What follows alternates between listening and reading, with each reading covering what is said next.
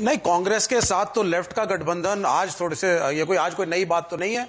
UPA की सरकार आपने केंद्र में पहले भी देखी है।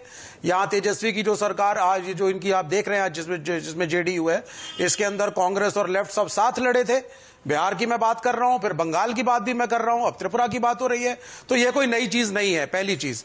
और एक ये पुराना रिश्ता हमारा कांग्रेस के साथ रहा है, और एक कॉमन मिनिमम प्रोग्राम बना करके हमने केंद्र में भी सत्ता हम हम, में हम उनके साथ थे।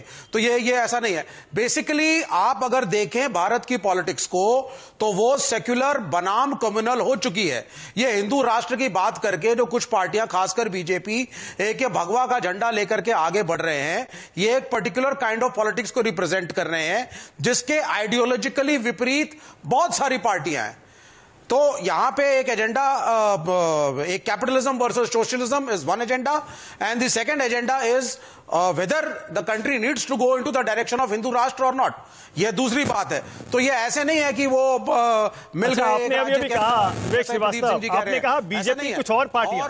बीजेपी और कुछ और पार्टियाँ जो कि हिंदू राष्ट्र की, की बात करती हैं। किसकी तरफ़ इशारा कर रहे थे आप? बीजेपी के अलावा और कौन सी पार्टी है? शिवसेना की तरफ़ तो इशारा नहीं इशारा जिसकी तरफ़ कर रहा था मैंने कर दिया।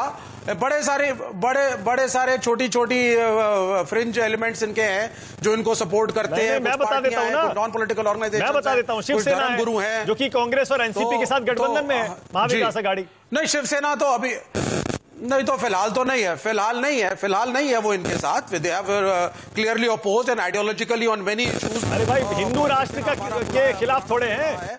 हम शिवसेना हिंदू राष्ट्र के पक्ष में है क्या बात कर रहे हैं आप?